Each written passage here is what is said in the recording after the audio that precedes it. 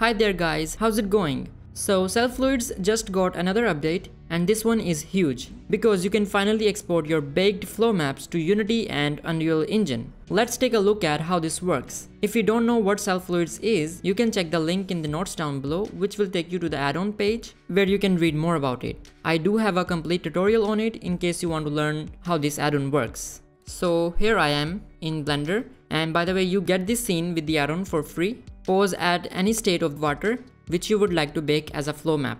So I would like to go with this one and then what I will do is I will scroll down and look for the bake static flow map inside the cell fluids add-on panel. Now that state of simulation is baked and we also got few settings that we can play around with and if you want splashes you can enable those right here and make sure exportable is checked. Then go over to file export. We want to export this in FBX then under transforms, apply scalings to all FBX.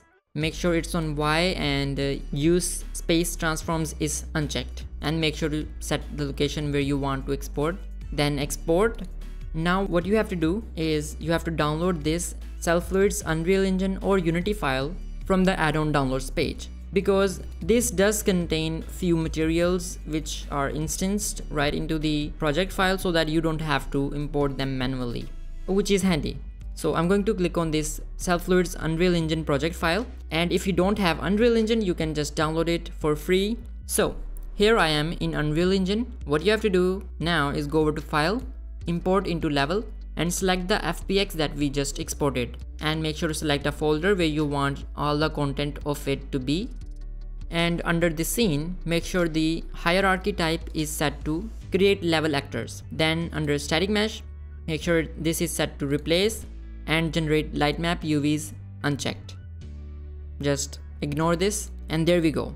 Press F on your keyboard and this will take you wherever your fluid is.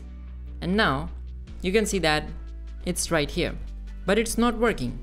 That's because we have to apply the materials which are available in the Unreal Engine file, which is right here.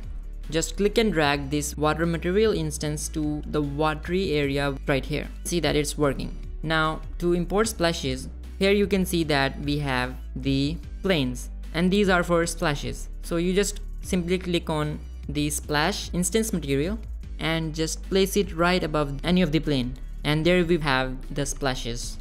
Of course you can go ahead and apply the materials of the objects that are right here, the rocks and the stuff manually and there you go, this is how you can export baked flow maps into Unreal Engine 5 or Unity.